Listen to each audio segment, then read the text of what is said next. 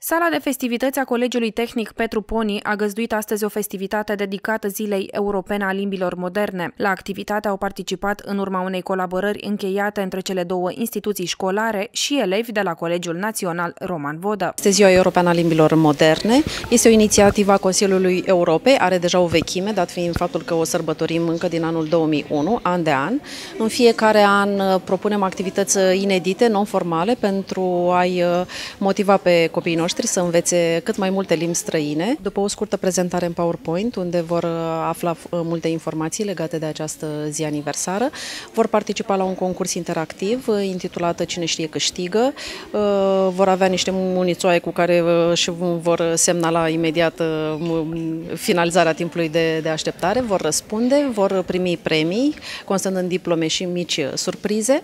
Va fi, desigur, un moment artistic, pentru că avem copii care au și-au petrecut prima parte a copilăriei în străinătate și vor fi recitări în italiană, în greacă, spaniolă, japoneză, pe lângă cele obișnuite, franceză și engleză. După un scurt istoric în care au fost prezentate date despre importanța zilei de 26 septembrie, elevii au participat la un concurs etalându-și cunoștințele generale. În ce țară europeană se vorbește portughezul?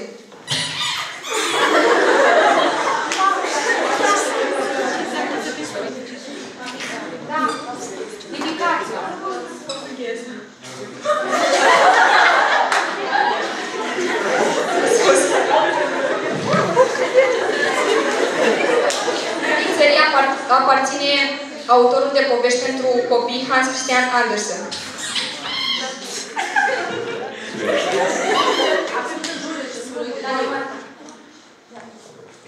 Răspuns corect.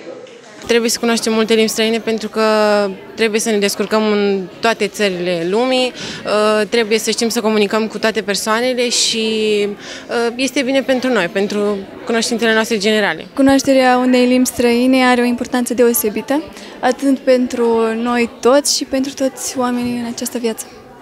Um, crezi că prin activitatea voastră de astăzi veți impulsiona elevii prezenți să încerce să învețe cât mai multe limbi străine?